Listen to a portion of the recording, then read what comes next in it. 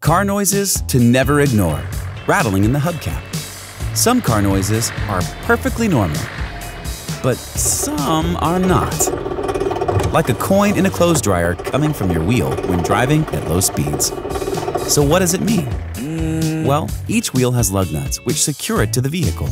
If one becomes loose, it could make a rattling sound inside the hubcap. If the lug nut falls out, it could damage your vehicle or make it unsafe to drive. So don't ignore it. Take it to a mechanic ASAP to tighten the lug nut. So the next time you hear this sound, now you'll know. Geico, saving people money on more than just car insurance.